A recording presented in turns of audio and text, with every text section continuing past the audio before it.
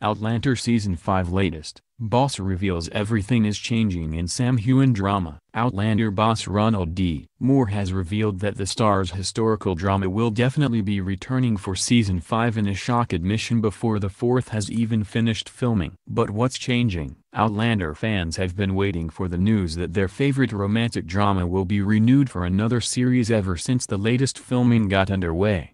With production in full swing, the cast and crew managed to find the time to fly over to Los Angeles for an event with the Academy in Hollywood last weekend.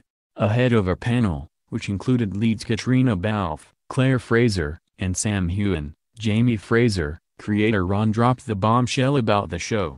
Speaking to Entertainment Weekly, he shared, we are certainly going to do it. I have no doubt we are doing a season 5. The producer admitted that it could be a while before there is an official announcement however, as the team are still undergoing the usual negotiations and conversations with the network. Yet fans may be nervous about the show's future, especially die-hard readers of Diana Gabaldon's original book series, as there are changes ahead.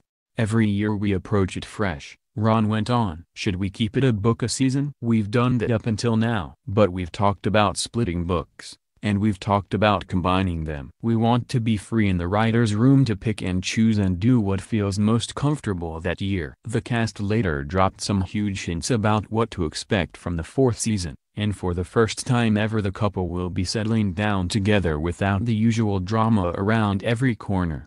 Caitriona explained, we finally actually get to see them in some sort of state of domestic bliss. Finally, they're not being ripped from home or made to travel across oceans. They actually settle, and it's a different dynamic, and it's nice to explore that. Like, what is this relationship when it's normal? Because we haven't really had that, the Irish actress told Elle.com, echoing his co-star's comments. Sam, 37, teased that Highlander Jamie might struggle to accommodate his 20th-century wife's habits in the home. He's very practical, he reasoned. Like why does he need to put the toilet seat down? It'd probably drive him irate that she'd clean up around him, or make him put things in certain places. I'm sure their domestic arguments are pretty fiery, the Scot actor added. New photos of Sophie Skelton as Brianna Fraser have also recently surfaced from the Scotland set and have revealed that there will be a huge reunion for the redhead and her family in 18th century North Carolina in the latest installment.